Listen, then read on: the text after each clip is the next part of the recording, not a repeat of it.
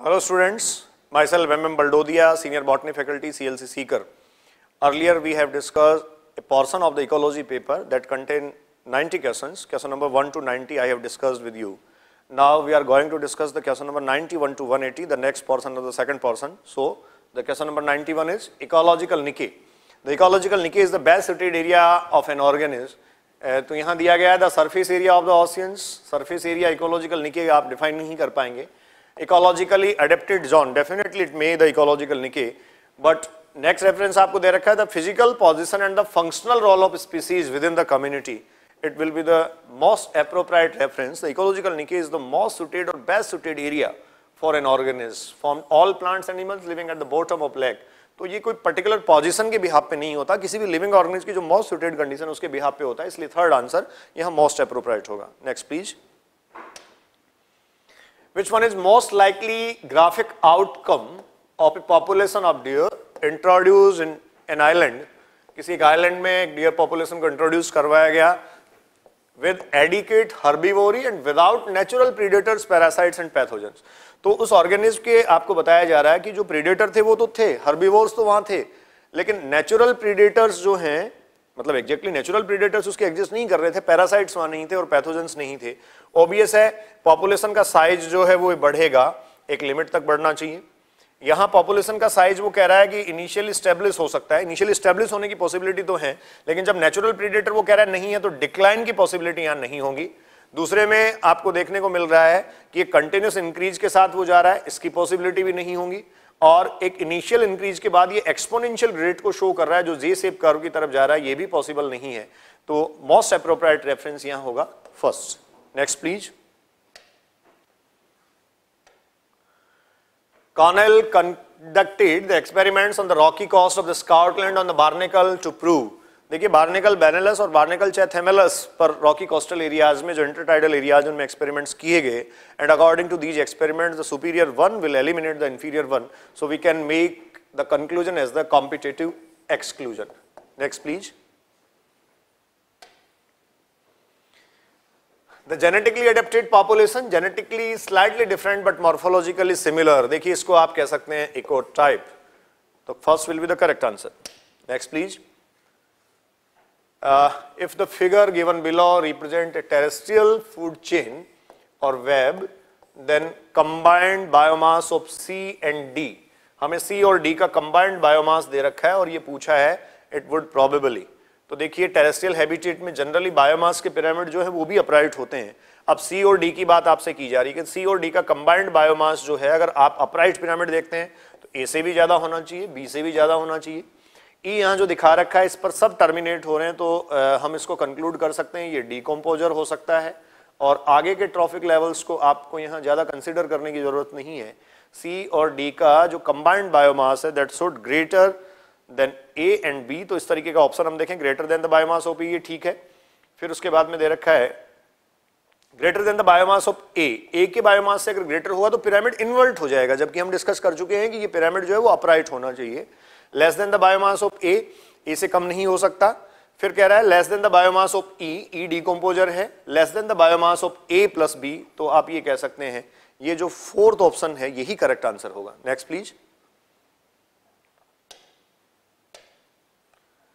how does phosphorus normally enters to the ecosystem तो देखिए phosphorus की जो साइकिलिंग है, वो आप कह सकते हैं सेडिमेंट्री साइकिलिंग का पार्ट है और सेडिमेंट्री साइकिलिंग में जो रॉक हैं या मिनरल रॉक्स हैं, उनकी आप कहेंगे वेदरिंग प्रोसेस होती है। तो due to the weathering process the phosphorus will enter in the ecosystem third will be the correct reference next please students question number 97 the process of mineralisation by microbes help in the release of inorganic nutrients from the humus definitely आप ये कह सकते हैं the process of the mineralisation inorganic nutrients को release करवाने में help करती है, लेकिन उसमें ह्यूमस आप कह सकते हैं बाद में बनता है। पहले फ्रेगमेंटेशन होगा, उसके बाद लीचिंग होगी, उसके बाद आप कह सकते हैं कैटाबॉलिज से ह्यूमस बनेगा देन ह्यूमिनिफिकेशन एंड मिनरलाइजेशन होगा। बहुत organic and inorganic nutrients from the detritus inorganic and organic दोनों आप नहीं कह सकते।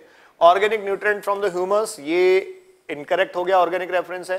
Formation of the humus and the inorganic nutrients from the detritus humus का फॉर्मेशन तक ठीक दे रखा है but inorganic nutrient from the detritus direct detritus से ऐसा नहीं हो सकता। हमें प्रोसेस दे रखा है मिनरलाइजेशन का so we can go with the first answer next please which of the following ecosystem is most productive term of net primary productivity? NPP हमें यहाँ दिया गया है, नेट प्राइमरी प्रोडक्टिविटी को देखा जाए तो मोस्ट प्रोडक्टिव कौन सा हो सकता है? देखिए एस्चुरी जो है, वो भी प्रोडक्टिव होती है एक्वेटिक सिस्टम में। ऑसियंस की और डेजर्ट की प्रोडक्टिविटी काफ़ी कम आती है। अगर ओपन ऑसियन आप देखें तो प्रोडक्टिविटी इसकी भी काफ़ी कम आती है। डेजर्ट लीस्ट प्रोडक्टिव होते हैं। Tropical rain forest will be the most productive next please productivity in the rate of the production of biomass in term of तो प्रोडक्टिविटी के लिए आपको यहाँ पूछा गया है कि प्रोडक्टिविटी के लिए जो टर्म है वो क्या क्या हो सकती हैं। देखिए, हम यहाँ इसमें जा सकते हैं। प्रोडक्टिविटी पहला आपको दे रखा है किलो कैलोरी मीटर क्यूब नहीं होगा। ये इनवर्स में दे रखा है ग्राम या सीधा सा अगर इसको आप कैलकुलेट करें तो ये जो ग्राम और किलोग्राम में काउंट की जा सकती है। इसके बाद मीटर स्क्वायर और उसके बाद में आप ये कह सकते हैं, यहाँ एरिया के साथ साथ रेफरेंस लिया जाता है टाइम का। तो ये रेफरेंसेज यहाँ हम पुट कर सकते हैं। इसके अकॉर्डिंग अगर आप देखें तो आपके पास, देखिए सेकंड करेक्ट रेफरेंस है और इसके बाद अगर आप देखें थर्ड इनकरेक्ट हो जाएगा और फोर्थ आपके पास करेक्ट रेफरेंस होगा so the third will be the correct answer next please a comparative study of grassland and pond ecosystem pond ecosystem और ग्रासलैंड को अगर हम कंपेरेटिव स्टडी करते हैं, एक एक्वेटिक इकोसिस्टम है, दूसरा आपके पास टेरेस्ट्रियल इकोसिस्टम है। Biotic components are almost similar ऐसा पॉसिबल नहीं है। Abiotic components are almost similar abiotic component similar हो सकते हैं, लेकिन यहाँ हैबिटेट जब टोटली डिफरेंट है तो पॉसिबल नहीं होगा ये। Primary and secondary consumers are similar primary और सेकेंडरी कंज्यूमर्स भी सिमिलर यहाँ नहीं होंगे biotic and abiotic components are different so fourth will be the correct reference next please So students, next question is 101. The given figure represents the ecological pyramid और ecological pyramid हमें जो दे रखा है देखिए इसमें बेस को नैरो दिखाया गया है। ऑब्वियस है ये इन्वर्ट हो सकता है बट उसके बाद में एक ब्रॉड बेस के बाद में ब्रॉड आप कह सकते हैं लेवल के साथ इसको फिर से नैरो कर दिया गया है। तो ये स्पिंडल सेप जो है वो बेसिकली हमें दिखाई दे रहा है। यहाँ कह रहा है pyramid of the numbers in grassland always upright होते हैं ये नहीं होगा। Pyramid of biomass in fallow land इसमें भी आप कह सकते हैं अपराइट होते हैं, नहीं होगा। Pyramid of biomass in lake definitely inverted ये होते हैं, लेकिन अगर किसी स्मॉल एक्वेटिक बॉडी को आप देखें तो उसमें ऑब्वियस है, ये स्पिंडल भी हो सकते हैं। So the third will be the correct reference next please if the decomposers become extinct, the most severe effect effect would be, और decomposers को अगर आप हटा दें तो नॉन साइक्लिंग हो जाएगी मिनरल्स की ठीक बात है damage to the nitrogen fixation इस पर आप ये कह सकते हैं, ऐसा नहीं है। और बायोमैग्निफिकेशन का जो प्रोसेस है carnivores will be the starved first answer will be the most correct next 103 who had tried to put price tags on the nature's life support and services? देखिए Robert Costanza et al Robert Costanza और उनके जो colleague और coworkers हैं, उन्होंने ये efforts किए कि जो नेचुरल रिसोर्सेज हैं, जो इकोसिस्टम सर्विसेज़ हैं, उनका प्राइस टैग और उनका कॉस्ट डिटरमाइन करने का इन्होंने एफर्ट किया। First will be the correct answer next please in an ecosystem standing crop at any time consists of standing crop is exactly the living matter so it will be the total living matter next please the following graph depicts the change in the two population a and b and of herbivores A और B दो population हमें दे रखी हैं दोनों herbivore आपको बता रखे हैं in a grassy field a possible reason for the changes is that आप ये देख सकते हैं देखिए ए जो है वो इंक्रीजिंग रेफरेंस में जा रहा है और बी अगर आप देख रहे हैं तो ये डिक्रीज हो रहा है तो ए का इंक्रीज और बी का डिक्रीज क्या रीजन हो सकता है? हम ये भी कह सकते हैं ए सक्सेसफुल सक्सेसफुली कॉम्पिटेड या compete out the B but यहाँ ऑप्शन एक बार पढ़ लेते हैं। Population A over exploiting B as prey देखिए पॉपुलेशन ए जो है वो एक्सप्लोइट कर सकती है बट और एक्सप्लोइट एज प्रे प्रे और प्रीडेटर का जो रिलेशनशिप होता है, वो जिगजैग मोशन में चलता है। इस तरीके का ग्राफ हमें नहीं मिलेगा। Population B successfully competed A ये गलत रेफरेंस लिखा है बी तो डिक्रीज में जा रहा है। Population A produce more offsprings than A obvious है पॉपुलेशन ए ने ज़्यादा ऑफ़ स्प्रिंग प्रोड्यूस किए हैं, तभी इसका नंबर जो है वो इंक्रीज में गया है। बहुत population in this habitat increase दोनों इंक्रीज नहीं हुई है। So the correct reference will be the third next please which help in the maintaining species diversity in a community obvious है प्रीडेटर्स जो हैं। प्री प्रीडेटर रिलेशनशिप जो होता है predators are always able to maintain the species diversity और the species composition in a biotic community. Second will be the correct reference. Next, please. Consider the following model of the nutrient cycling. तो nutrient cycling हमें दे रखा है देखिए यहाँ phosphorus cycling का एक डायग्रामेटिक प्रेजेंटेशन आपके सामने है जिसमें rock minerals in rock minerals की देखिए विदरिंग प्रोसेस जो होती है इस विदरिंग प्रोसेस से आप ये कह सकते हैं साइकिलिंग में फॉस्फोरस आएगा सॉइल सरफेस पे आ गया। यहाँ से प्लांट्स ने इसका अपटेक किया। प्लांट्स इसको अपटेक में ले जाते हैं और उसके बाद में यहाँ आपको दिखा रखा है प्रोड्यूसर्स को डेट्रीवॉर्स तक तो ये मैटर का ट्रांसफ़र है। प्रोड्यूसर्स को कंज्यूमर्स यूटिलाइज करते हैं, ये भी एनर्जी फ्लो और ट्रांसफ़र है।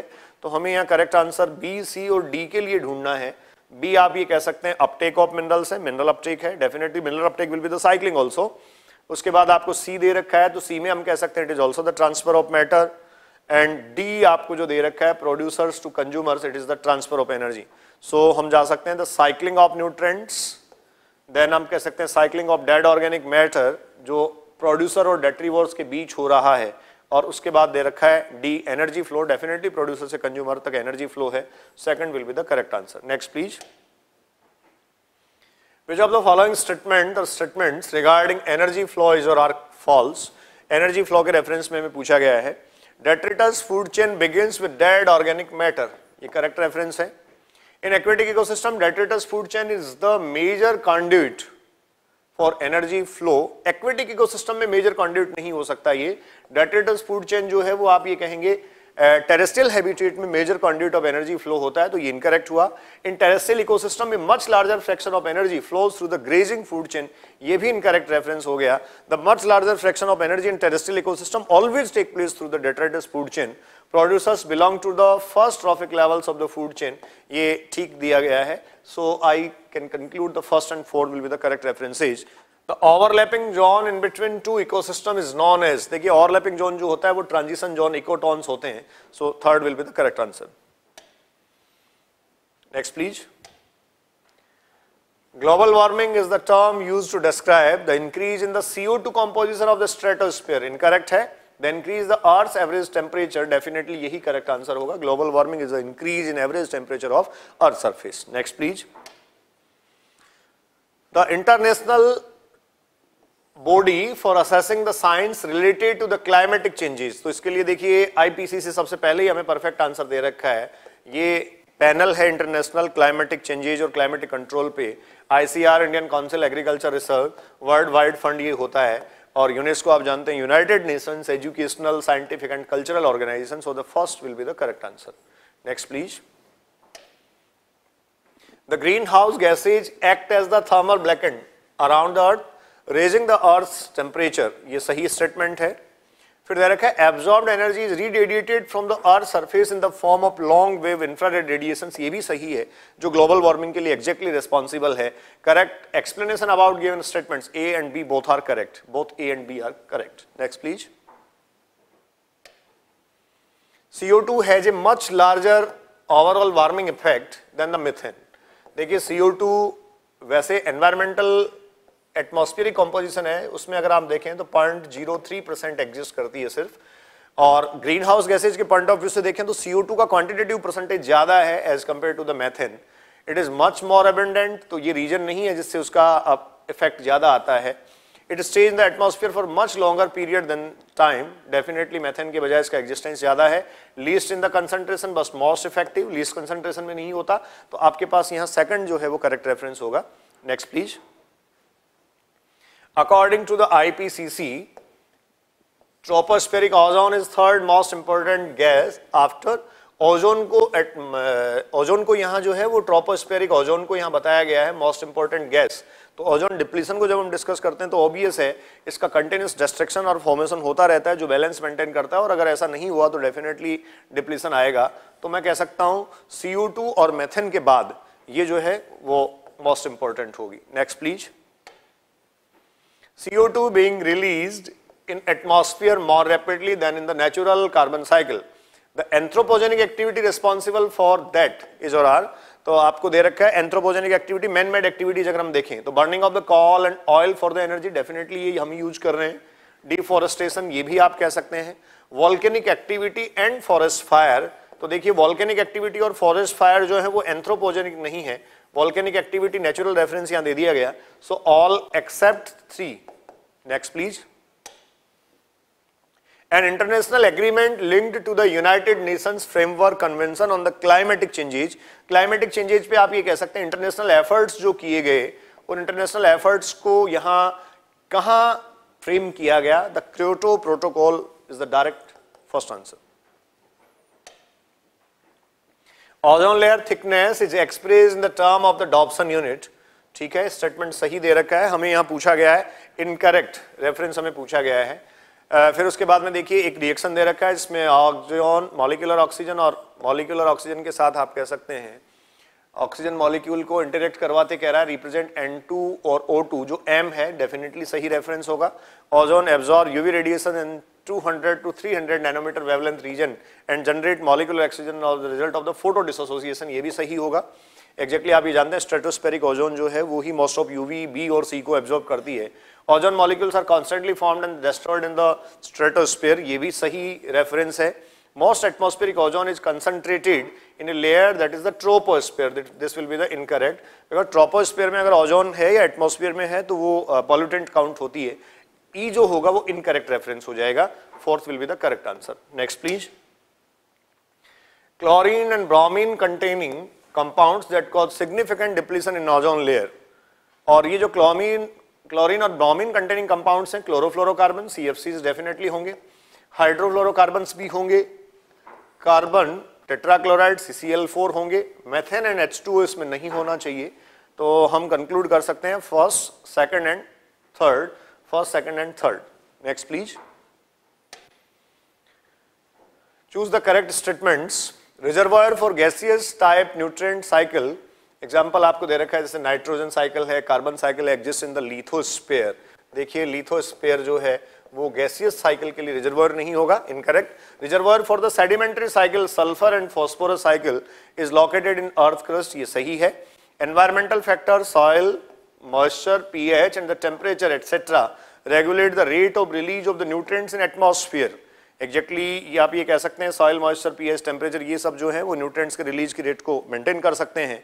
और rapid deforestation and massive burning of fossil fuel increase the rate of the release of CO2 in atmosphere ये दोनों मैनमेड एक्टिविटी है, ये भी डेफिनेटली ऐसा किया जा सकता है। तो फ़र्स्ट को अगर छोड़ दिया जाए तो यहाँ ऑप्शन आपके पास सेकंड थर्ड एंड फोर्थ जो है, वो सही होंगे। नेक्स्ट प्लीज़ कॉलम फ़र्स्ट के साथ कॉलम सेकंड आपको मैच करना है और करेक्ट ऑप्शन आपको इसमें आइडेंटिफाई करना है। तो देखिए, आपको यहाँ दे रखा है झूम कल्टीवेशन एग्जैक्टली मैं कह सकता हूँ, jhum cultivation slash burn and agriculture होगा। उसके बाद आपको दे रखा है चिपको मोमेंट चिपको मोमेंट आप जानते हैं गढ़वाल और हिमालय रीजन से कोरिलेट करता है। उसके बाद आपको जेएफएम जॉइंट फॉरेस्ट मैनेजमेंट दिया है। 1980 में ये इनिशिएट किया गया था। अल नीनो इफ़ेक्ट आपको दिया गया है। अल नीनो इफ़ेक्ट में आप कह सकते हैं increase in the temperature and odd climatic conditions जो हैं वो अल नीनो इफ़ेक्ट को करेक्टराइज करती हैं। सो so, ये थर्ड रेफरेंस पे जा सकता है। उसके बाद आपको इकोसेन दे रखें जो केरला और श्रीलंका में है। ई ईपीए ओबीएस है 1986 एक जो बचा है। तो इस तरीके का ऑप्शन अगर आपके पास है ए आप कह सकते हैं सिक्स वन होगा बी में फिफ्थ वन होगा सिक्स और fifth one the correct answer will be the second next please what is the net community productivity NCP आपसे पूछा गया net community productivity here the net community productivity is the respiratory use after the use of the second trophic level और organism of the second trophic level तो आप कह सकते हैं NPP minus H देखिए एनपीपी नेट कम्युनिटी प्रोडक्टिविटी को हमें अगर डिफाइन करना है तो इसके लिए हम एनपीपी में से HR या हेटेरोट्रॉफिक रेस्पिरेटरी यूज़ को माइनस कर सकते हैं, ये एनसीपी आ जाएगा। So first will be the correct answer next please and terrestrial habitat NPP is limited mainly by अब देखिए नेट प्राइमरी प्रोडक्टिविटी को लिमिटेड करने की बात है तो एक्जैक्टली exactly ये वही है जो एनर्जी ट्रांसफ़र की बात हम करते हैं। द फर्दर और successive energy transfer across the trophic levels is regulated by the environmental factors definitely water temperature and nutrient availability light and nutrient availability only mention किया गया है, नहीं हो सकता। देखिए, यहाँ भी टेम्परेचर और लाइट में ऑनली मैंशन किया गया nutrient availability only so we can go for the first next please select the incorrect option incorrect reference आपको यहाँ से देखना है। BOD is the measure of the concentration of the total organic matter आप कह सकते हैं किसी भी वाटर बॉडी में और किसी भी वाटर बॉडी का, के अलावा जो वाटर सैंपल है, उसमें बायोकेमिकल ऑक्सीजन डिमांड वहाँ डायरेक्टली इंडिकेट करती है हाउ मच ऑर्गेनिक कंपाउंड्स और organic matter is there so ये करेक्ट होगा। Solubility of oxygen decrease is the temperature increase definitely आप ये कह सकते हैं ये डिक्रीज होगी। ऑक्सीजन डिमांडिंग वेस्ट और यूजुअली बायोडिग्रेडेबल ऑर्गेनिक सब्सटेंसेज देखिए मोस्ट ऑफ़ आप कह सकते हैं, जो रेफरेंस आता है, वो बीओडी का ही आता है। COD is the larger value but mostly depends on the BOD then BOD concentration of waste water is express in the kilo calorie per litre ये इनकरेक्ट रेफरेंस होगा। So the correct answer will be the four next please which of the following is mainly affect the quality of water quality of water की हम बात करें। देखिए acid rain हमें दे रखा है और ट्रॉपिकल फॉरेस्ट में दे रखा है। सबसे इंपॉर्टेंट बात यह है कि ट्रॉपिकल फॉरेस्ट में एसिड रेन की पॉसिबिलिटी कम से कम होंगी, क्योंकि वहाँ पॉल्यूशन के लेवल काफ़ी कम होते हैं। ये इनकरेक्ट हो जाएगा। ग्रीन हाउस इफ़ेक्ट जो है, ये आप कह सकते हैं ग्रीन हाउस इफ़ेक्ट और एसिड रेन जो है, दोनों एनवायरमेंटल पॉल्यूशन में एयर का रेफरेंस है। यूट्रॉफिकेशन में आप ये कह सकते हैं due to the excessive accumulation of the nutrients ये होगा तो इसको आप कह सकते हैं, ये करेक्ट आंसर होगा। Next please during the past century the temperature of the earth increase by देखिए, यहाँ दो नेगेटिव रेफरेंस दे रखे हैं। सॉरी एक नेगेटिव रेफरेंस दे रखा है डिक्रीज कभी नहीं होगा। एक सिक्स डिग्री सेंटीग्रेड दे रखा है और 1.60 दे रखा है। काफ़ी ज़्यादा इंक्रीज शो कर रहा है। ग्लोबल वार्मिंग में इतना इंक्रीज नहीं हुआ है। It will be the point six degree centigrade कुछ स्टेटस और डेटा जिसको पॉइंट एट डिग्री सेंटीग्रेड भी बताते हैं। तो definitely second will be the correct और most appropriate reference next please CFCs are added to the stratosphere they are तो CFC जो क्लोरोफ्लोरोकार्बन ऐड किए जा रहे हैं they have the continuous effect permanent effect उनका अपना होता है, और आप ये कह सकते हैं, वो कंटिन्यूसली डैमेज कर रहे हैं so the third will be the correct answer next please consider the following and choose correct given two aspects with respect to energy flow in the ecosystem ecosystem में एनर्जी फ्लो को आपको देखना है तो देखिए फ़र्स्ट और second दो दो रेफरेंस हर एक ऑप्शन में हमें फ्रेम करके दिए हैं. First the energy flow is unidirectional always it will be the unidirectional amount of energy decrease with the successive trophic level definitely ये भी करेक्ट होगा। दोनों रेफरेंस हमें करेक्ट मिल गए हैं इसमें। First the energy flow is bi directional incorrect है। फिर दे रखा है energy flow is unit directional ये करेक्ट है। But amount of energy increase with the successive trophic level increase दे रखा है। इंक्रीज कभी नहीं होगा। And energy flow is multi directional ये नहीं होगा। सो फ़र्स्ट ऑप्शन में ही हमें दोनों करेक्ट रेफरेंसेज दिए गए the first will be the correct answer next please which of the following factor increase with early to late successional stage? तो देखिए early to late successional stage अगर हम देखते हैं एंट्रोपी ऑलवेज डिक्रीज होती है। क्योंकि अर्लियर रेफरेंस में आप देख सकते हैं फ़ूड चेन काफ़ी छोटी होती है शॉर्टर होती है so the transfer will be much and more फिर उसके बाद दे रखा है नेट प्रोडक्शन ये डिक्रीज में जा सकता है, लेकिन एक्यूमुलेशन अगर हम देखें तो एक्यूमुलेशन के पॉइंट ऑफ़ व्यू से नेट प्रोडक्शन बढ़ जाता है। स्पीसीज रिचनेस डेफिनेटली बढ़ेगी, total organic matter and stability भी बढ़ेगा तो हम बी सी और डी इन तीनों को इंक्रीज में काउंट कर सकते हैं B C and D so second will be the correct answer next please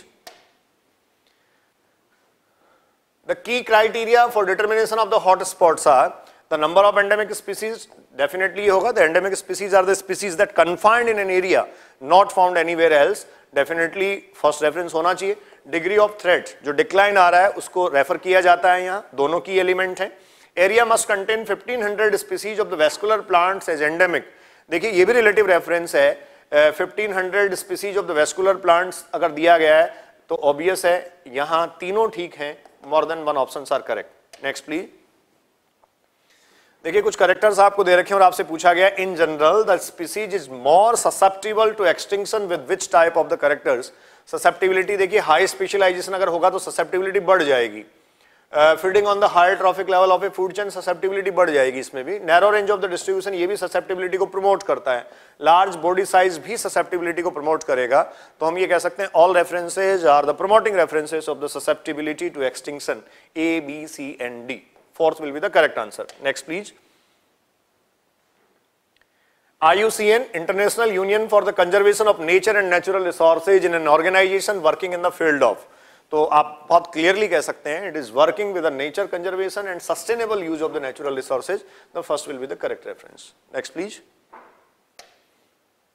red panda snow leopard and black buck facing a very high risk of extinction देखिए यहाँ दे रखा हमें facing very high risk of extinction अगर extremely high risk of extinction पे हम जाते तो ये क्रिटिकली एंडेंजर्ड हो सकता था और साथ में दूसरा एक पॉइंट आपको दे रखा है they will extinct in near future so it will categorize under the endangered species. Next, please. Which of the following is not concerned with the conservational strategy? तो कंजर्वेशन स्ट्रेटेजी में कौन सा कंसिडर नहीं किया जाता देखिए national park sacred grove and biodiversity hotspot definitely count होगा man and biosphere programme इसी के लिए डिज़ाइन किया गया था यूनेस्को एनवायरमेंटल प्रोग्राम्स, ये भी इसी के लिए हैं। लेकिन मॉन्ट्रियल प्रोटोकॉल अगर आप देखें तो ये ग्लोबल वार्मिंग से कोरिलेट करता है so it will be the correct answer next please the richest and most threaten reservoir of the plants and animal life on the earth देखिए, यहाँ बायोस्फीयर रिज़र्व आपको दे रखा है। डेफिनेटली बड़े एरिया होते हैं और अच्छी डाइवर्सिटी उनमें होती है रिचेस्ट होते हैं। But not most threaten so इसको आंसर हम नहीं ले सकते। बायोम हम नहीं कह सकते। बायोम तो कोई भी जियोग्राफिकल रीजन हो सकता है।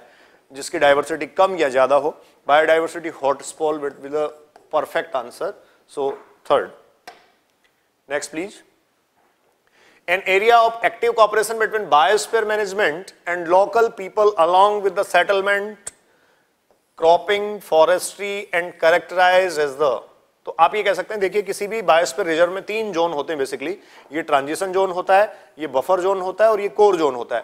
कोर जोन में किसी तरीके का ह्यूमन एंट्री इंटरफेयर अलाउ नहीं है।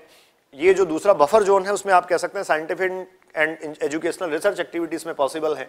बट जो आउटर मोस्ट रीजन है ट्रांजिशनल जोन उसमें ह्यूमन सेटलमेंट अलाउ है। ट्राइब्स बेसिकली इसमें सर्वाइव करते हैं so the transitional zone will be the correct answer next please biodiversity hotspots are recognize on the basis of hotspots को कैसे recognise किया जाता है? Their proximity to national park and reserve देखिए proximity हो सकता है नेशनल पार्क और जो रिज़र्व है उनके बेसिस पे। Number of the endemic species they contain ये आपके पास मोस्ट अप्रोप्रिएट रीजन इसका। The degree of which they include species are threaten with extinction तो सेकंड और थर्ड आपको जो दे रखे हैं, वो की क्राइटेरिया एक तरीके से हैं। So we can go with fourth answer next please which of the following statement is correct about succession देखिए सक्सीसन जो है वो आप ये कह सकते हैं एक सब्सिक्वेंट प्रोसेस है। ऑब्वियस है over the time species composition में चेंज होता है। यहाँ इसके लिए लिख रहा है secondary succession occurs where no soil exist गलत बात है। सेकेंडरी सक्सेशन वहीं शुरू होगा जहाँ एडेफिक फैक्टर्स प्रेजेंट होंगे। Primary succession occurs in the area where soil remains after disturbance ये सेकेंडरी सक्सेशन के लिए कहा जा सकता है गलत हो गया। Secondary succession can occur where a disturbance has left soil और intact This will be the correct reference. Next, please. The population size of a bird decreased from 660 to 645. तो देखिए, यहाँ 15 इंडिविजुअल्स का एग्जैक्टली डिक्रीज हमें दिया गया है in one year if the per capita birth rate of this population was ये कह रहा है, पहले पर कैपिटा जो बर्थ रेट थी, वो वन टू फाइव थी डेथ रेट हमें काउंट करनी है। तो जो पर्टिकुलर टाइम हमें दिया गया है, उसमें जो डिक्रीज है, उसके रेफरेंस में हम जा सकते हैं। 15 individuals are decreased on the behalf of 660 individuals so इसके अकॉर्डिंग अगर हम कैलकुलेट करें तो आप ये कह सकते हैं 660 इंडिविजुअल्स के बिहाफ पे अगर हम जाते हैं तो ये point two zero fourth answer will be the correct reference next please match column with column first with column second इसमें एक तरफ़ आपको कुछ पॉपुलेशन इंटरेक्शंस और बायोटिक इंटरेक्शंस दे रखे हैं M N सेलेज commensalism symbiosis और पैरासिटिज और दूसरी तरफ़ उनका डिफाइनिंग प्रोटोकॉल आपको दिया गया है।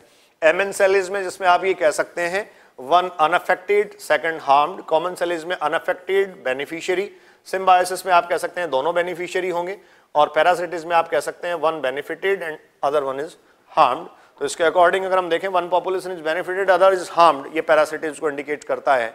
फ़र्स्ट जो है, उसमें डी रेफरेंस लिया जा सकता है। तो आप यहाँ से देख सकते हैं सॉरी जो पैरासिटिज्म है, उसके लिए one population is benefited other is harmed ये डी में काउंट किया जा सकता है। तो मैं जहाँ तक देख पा रहा हूँ डी इस पे भी फ़र्स्ट है, यहाँ भी दे रखा है। सिम्बायोसिस को हम देख लेते हैं, जिसमें दोनों one population inhibited not affected या ये कह रहा है two dissimilar species living in close association अगर इसमें मैं जाऊँ तो सिम्बायोसिस को इंडिकेट करता है तो सी में सेकंड देख लेते हैं। इसमें भी सी सेकंड दिया है, इसमें भी सी सेकंड दिया है तो फिर अगला अगला फर्दर हमें चेक करना पड़ेगा। कॉमन सेलिस को अगर आप देखें तो एक अनफेक्टेड है, एक बेनिफिशियरी है। जिसमें कह रहा है one population is benefited other is not affected तो फिफ्थ पे आप जा सकते हैं। इसमें ये सेकंड दे रखा है, इसमें फिफ्थ दे रखा है। और ए को हम देख सकते हैं fourth so first will be the correct answer next please which of the following represents maximum number of species among global diversity obvious है फंजाई देखिए मॉसेज और फॉन्ट्स हैं एलगी आपको दे रखा है लाइकेन दे रखा है। जो एंजियोस्पर्मिक प्लांट्स हैं, उनसे भी ज़्यादा आप ये कह सकते हैं, कुछ स्पीसीज फंजाई की ज़्यादा एग्जिस्ट करती हैं। Next please The food chain in an ecosystem is generally three to four trophic levels. Length can increased by. अब देखिए, कुछ क्वेश्चन हमने अब तक जो डिस्कस किए, जिसमें किसी भी फ़ूड चेन को रेस्ट्रिक्ट कैसे किया जा सकता है, उसको आप पढ़ रहे थे।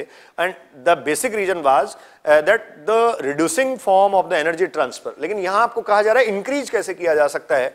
तो किसी भी एक फ़ूड चेन में आप कह सकते हैं ट्रॉफिक लेवल्स का नंबर अगर इंक्रीज करना है तो जो प्राइमरी प्रोड्यूसर्स है, उन प्राइमरी प्रोड्यूसर्स की प्रोडक्टिविटी को बढ़ा दीजिए।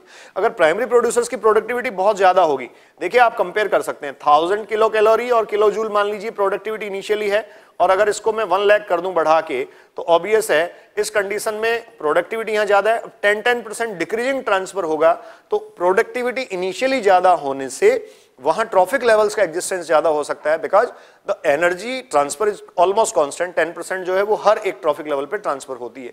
तो हम कह सकते हैं increasing primary productivity next please the concept of the trophic structure of a community emphasize on किसी ट्रॉफिक स्ट्रक्चर पे क्या आपको मिलेगा, किसी कम्युनिटी को जो रेफर कर रहा है। Prevalent from the vegetation keystone predators feeding relationship within a community तो ट्रॉफिक स्ट्रक्चर्स आप कह सकते हैं फीडिंग रिलेशनशिप के बेसिस पे ही फ्रेम किए जाते हैं। Next please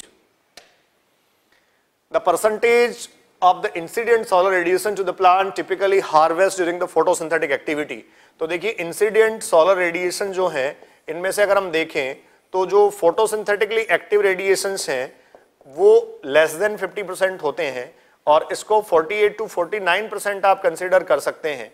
और इसको हम फोटोसिंथेटिकली एक्टिव रेडिएशन या पार कंसिडर करते हैं। Out of this only 2 to 10 percent can utilize by the plants और अब ये टोटल इंसिडेंट लाइट का हमें पूछ रहा है तो 2 टू 10 परसेंट के बजाय हमें चले जाना चाहिए 1 to 5 percent next please the greatest amount of free energy available at which of the following levels किसमें ग्रेटेस्ट अमाउंट ऑफ़ एनर्जी मिलेगा? ऑब्वियस है, जहाँ प्रोड्यूसर्स एग्जिस्ट करते हैं, वहाँ सबसे ज़्यादा एनर्जी आपको मिलेगी। Fourth will be the correct answer next please the role of decomposers in nitrogen cycle is to. Nitrogen cycle में डीकम्पोजर्स का रोल क्या है? Fix N two into ammonia atmospheric nitrogen को अमोनिया में वो ट्रांसफ़र नहीं करते डेड ऑर्गेनिक मैटर का अमोनिफिकेशन वो करते हैं। तो ऑप्शन हमें यहाँ देखने को मिल जाएगा release ammonia from the organic compound thus returning to the soil so the correct answer will be the second next please which of these ecosystem has the lowest primary productivity per square meter? तो देखिए, हमारे पास tropical rain forest ये maximum productivity वाला है। Grassland आप कह सकते हैं, अच्छी प्रोडक्टिविटी इसकी भी होती है। अब दो ऑप्शन आपके पास है salt marsh and open ocean obvious है साल्ट मार्स या मार्सी एरियाज़ में। आपको कह रहा है loss per square metre area के रेफरेंस में तो इसमें प्रोडक्टिविटी ज़्यादा मिलेगी, जबकि इसमें ओपन ओशियन में कम मिलेगी। तो third will be the correct reference next please which biological characteristic is not commonly found in the invasive species? देखिए इन्वेजिव स्पीसीज जो होती हैं, कहीं भी इन्वेल्ड करती हैं अटैक करती हैं तो ऑप्टिमम लोकल अडेप्टेशन तो आप उनमें नहीं कह सकते। हाँ फर्दर वो अडेप्टेशन ले सकती हैं। तो सबसे पहला रेफरेंस ही हमें मिल रहा है ऐसा, आगे पढ़ लेते हैं। हाई रिप्रोडक्टिव कैपेसिटी हो सकती है ब्रॉड इकोलॉजिकल टॉलरेंस हो सकता है, तभी वो मूव करके दूसरे एरिया में स्टेब्लिश हुई है। वेल डेवलप्ड डिस्पर्जल मैकेनिज्म उनका हो सकता है। So the correct answer will be the first next please which of the following is not a characteristic feature of R selected species देखिए आर सेलेक्टेड जो species होती हैं स्मॉल साइज्ड आप कह सकते हैं ऑर्गेनिज्म होगा but the number of individuals will be very large so small adult size हो सकता है लॉन्ग जनरेशन टाइम उनका नहीं होगा generally a high energy allocation to the reproduction हो सकता है मैक्सिमम पॉपुलेशन ग्रोथ आप कह सकते हैं लॉन्ग जनरेशन टाइम उनका एग्जिस्ट नहीं करेगा. So the second will be the correct answer next please when a forest is destroyed by fire again, reoccupied hubs in the initial stage is an example of. आपको पहले से edaphic factors की presence दी जा रही है। Bond और कटेड forest जो है, वहाँ अगर फिर से वेजिटेशन स्टैब्लिश हो जाती हैं तो ये सेकेंडरी सक्सेशन होगा। Next please a population carrying capacities किसी भी एक पॉपुलेशन का कैरिंग कैपेसिटी क्या है? देखिए, उस पॉपुलेशन की ग्रोथ को, उसके एग्जिस्टेंस को जब तक उसका एनवायरमेंट सपोर्ट करता है the supporting references of the environment will call as the carrying capacity तो ये कह रहा है number of individuals in a population नहीं होगा। Reached when the number of death exceed the number of the birth birth और death का reference इसमें नहीं कह सकते आप। Inversely related to R max ये भी नहीं कह सकते आप। The population size that can be supported by the available resources for the species within the habitat so the fourth will be the correct reference next please consider the following ये हमें कुछ दिए हैं और इनके बाद हमें पूछा गया है। गिवन प्रॉपर्टीज़ करेक्टराइज किसको करेक्टराइज करती हैं? लेस कॉम्प्लेक्स साइकिल दे रखा है जनरलाइजेशन कह रहा है emphasise on the reproductive potential presence of the adhesive and sucking organs देखिए, ये एक्टोपैरासाइट का करेक्टर हो सकता है। इसके अलावा लेस कॉम्प्लेक्स साइकिल दे रखा है। अगर मोर कॉम्प्लेक्स होती तो एंडोपैरासाइट ये होता। और ये रेफरेंसेज आपको मिलेंगे ectoparasite so the second will be the correct answer next please gross generalization about competition is not entirely true देखिए ग्रॉस जनरलाइजेशन कंपटीशन के बारे में ये था कि कोई भी दो ऑर्गेनिज्म इंटरेक्ट करेंगी कॉम्पीट करेंगी। The superior one will eliminate the inferior one लेकिन ऐसा ज़रूरी नहीं है, वहाँ दो पॉसिबिलिटीज और हैं। कॉम्पिटेटिव आप कह सकते हैं एक ऑप्शन है जिसमें हम कहेंगे दो ऑर्गेनिज्म इंटरेक्ट कर रही हैं तो एक तो कोएग्जिस्टेंस में वो जा सकती हैं और दूसरा आप कह सकते हैं रिसोर्सेज की उनमें पार्टीशन हो सकता है पार्टीशनिंग उनमें हो सकती है। Inferior eliminate by the superior ये ठीक बात है, लेकिन ग्रॉस जनरलाइजेशन को ये प्रेफर नहीं कर रहा है। Competitive exclusion is universal truth देखिए कॉम्पिटेटिव एक्सक्लूजन जो है वो यूनिवर्सल ट्रूथ नहीं है। ऐसा नहीं है कि हमेशा ही कॉम्पिटेटिव एक्सक्लूजन होता है। फिर दे रखा है species evolve to promote coexistence definitely ये रीजन है। वो कह रहा है growth generalisation about competition is not entirely true why it is not entirely true because because species evolve to promote the coexistence the third will be the correct answer next please students next question is the feeding efficiency of one species might be increased even in the presence of the other species.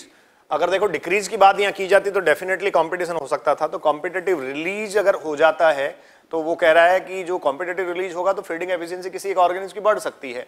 फिर कह रहा है interference competition फिर कह रहा है dissimilar requirement of resources फिर कह रहा है अबेंडेंस ऑफ़ रिसोर्सेज तो देखिए कॉम्पिटेटिव रिलीज़ और जो डिसिमिलर रिक्वायरमेंट ऑफ़ रिसोर्सेज है, इन दोनों के लिए हम जा सकते हैं। और डिसिमिलर जो रिक्वायरमेंट ऑफ़ रिसोर्सेज है, उनमें डेफिनेटली अगर दो स्पीसीज साथ साथ प्रेजेंट है तो फीडिंग एफिशिएंसी इंक्रीज ही होगी, कोई असर उन पर नहीं आएगा। Third will be the correct answer. Next, please. Fitness of one species significantly lower in the presence of other. Fitness refers. देखिए fitness reproductive capability और biotic potential को refer करता है. Second will be the correct reference. Next, please.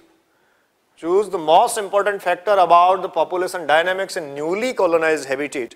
देखिए newly colonise habitat में किसी एक population के साइज़ को इंक्रीज करने वाला जो सबसे इंपॉर्टेंट आस्पेक्ट होता है that is the immigration contribute more significantly next please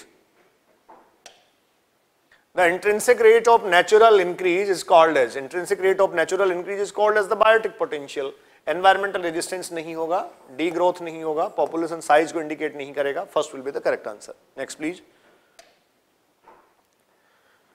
what is the correct decreasing order for the threat of the uh, identified by IUCN देखिए international union for the conservation of nature and natural resources की जो extinction की category है decreasing order हमें पूछा है।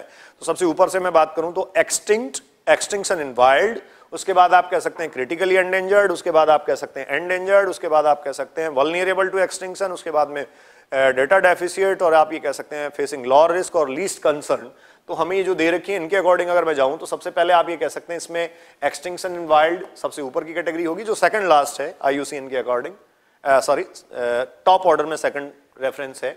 उसके बाद आप ये कह सकते हैं, यहाँ एंडेंजर्ड हो सकती हैं देन रेयर हो सकती हैं और वलनियरेबल हो सकती हैं। तो मेरे पास यहाँ जो ऑप्शन हैं, उनके अकॉर्डिंग मैं जा सकता हूँ fourth next please the most important strategy for the conservation of biodiversity together with traditional human life human settlement यहाँ दिया गया है और देखिए human life और human settlement सिर्फ़ बायोस्फीयर रिज़र्व में ही होता है so first will be the correct answer next please which of the following can be most threat to the biodiversity of a geographical area which of the following can be the most threat सबसे ज़्यादा खतरा किसी biodiversity को या किसी particular geographical area की biodiversity को क्या हो सकता है?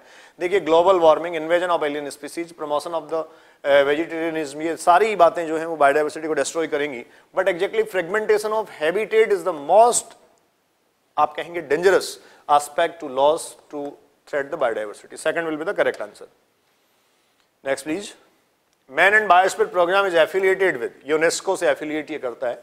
UNESCO's Man and Biosphere Program was launched in the 1988. Next, please.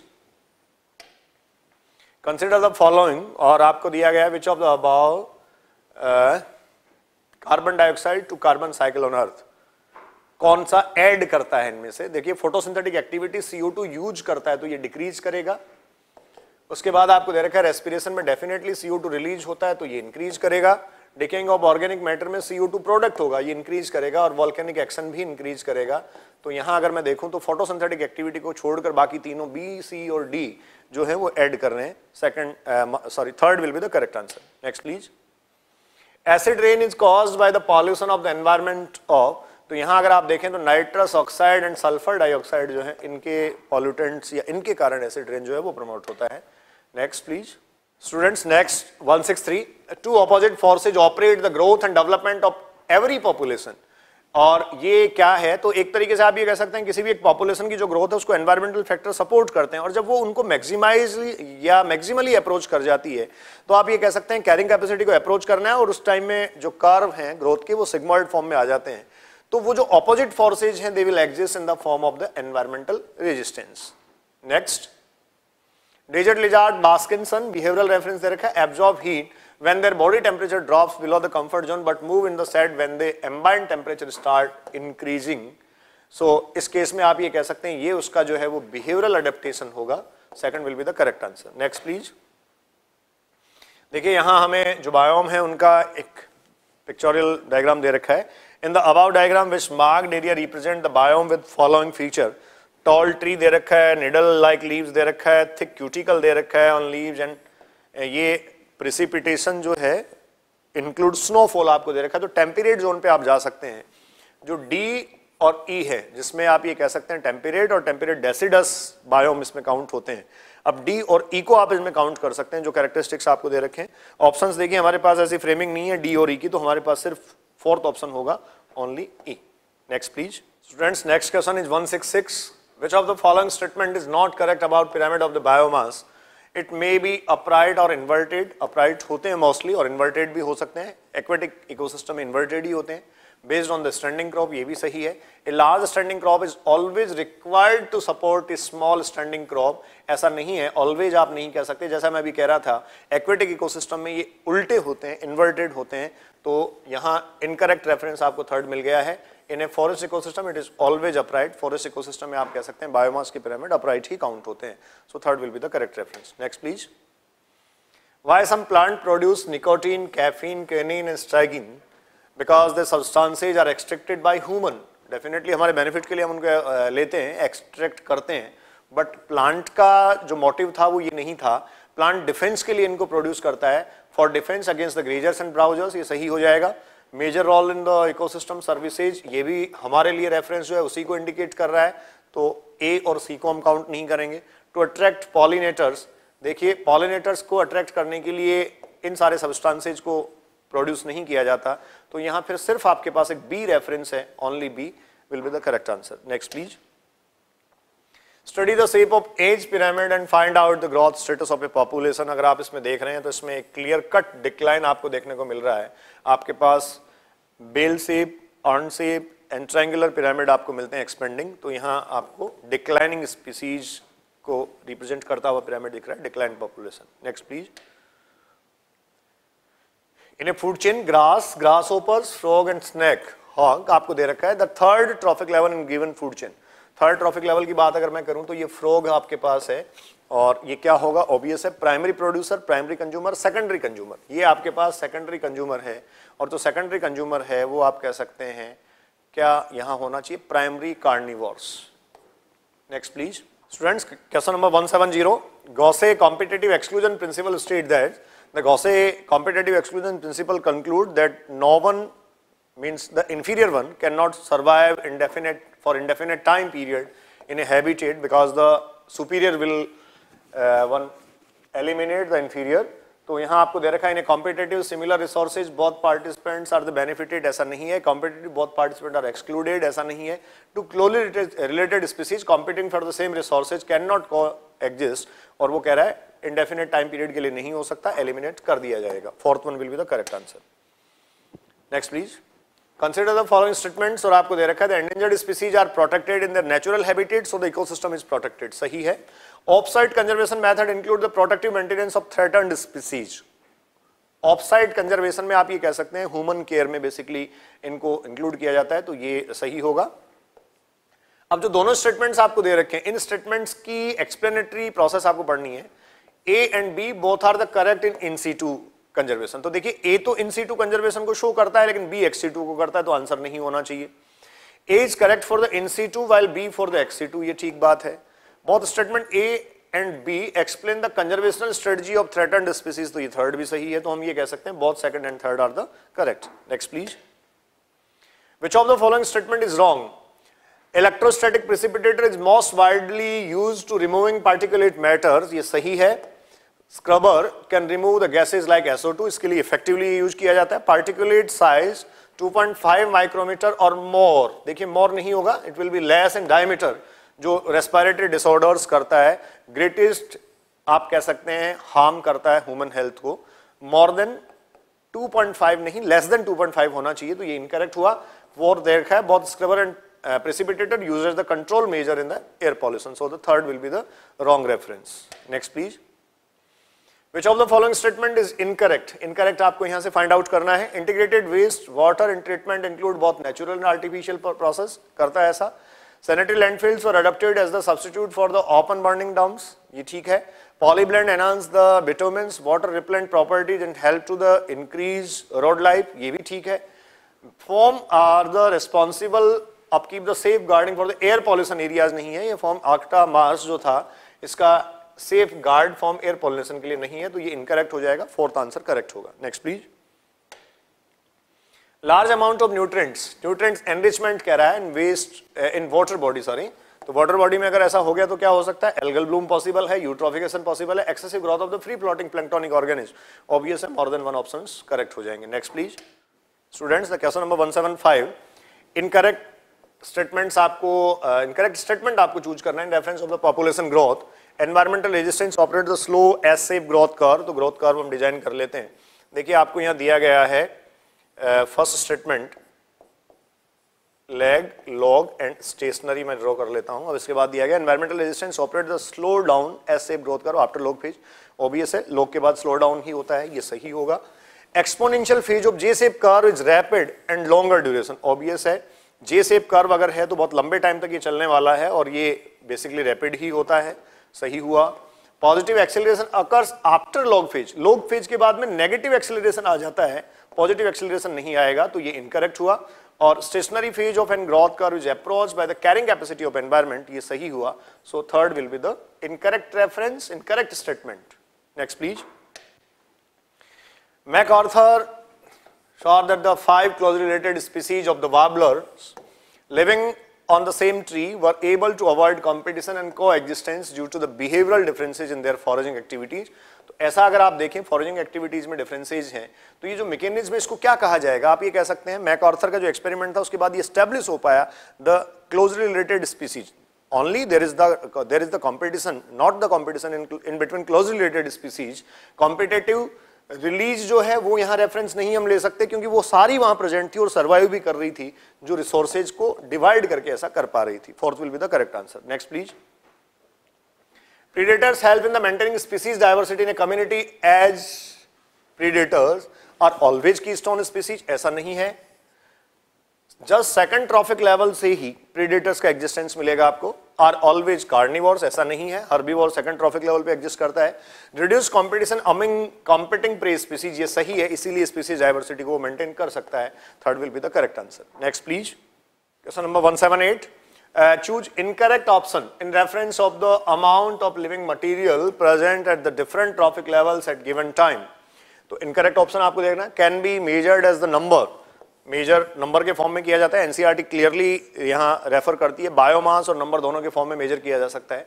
Is equivalent to the standing crop exactly होगा। It always represented as dry weight only देखिए ड्राई वेट के बजाय आप कह सकते हैं, उसको फ्रिश वेट में भी लिया जा सकता है but the most appropriate measure is the dry weight तो ये इनकरेक्ट रेफरेंस है। Express both has biomass and number ये करेक्ट रेफरेंस है। So the third will be the incorrect option next please students the question number 179 stable, terrestrial land based food chain, which of the following statement is correct? Correct reference आपको ढूंढना है।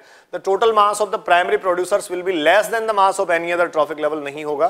Tertiary consumers जो हैं, वो secondary consumers को consume करेंगे which in turn consume the primary consumers तो ये सीक्वेंस दे रखी है, आपको सही है। All tertiary consumers are mammals ये एसेंशियलिटी नहीं है। फिर कह रहा है डीकम्पोजर्स डू नॉट एग्जिस्ट ये भी सही नहीं है। डीकम्पोजर्स हर एक ट्रॉफिक लेवल के साथ एग्जिस्ट करते हैं। So the correct answer will be the second next please